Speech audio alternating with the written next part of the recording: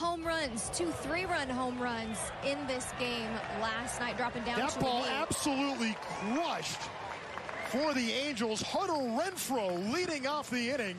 First pitch of the second inning. Hunter Renfroe goes deep. We saw Shohei Ohtani leave the ballpark twice for Japan in the exhibition. Meanwhile, Hunter Renfroe sending that one sailing over the burr in left field. That ball absolutely smashed by Renfroe.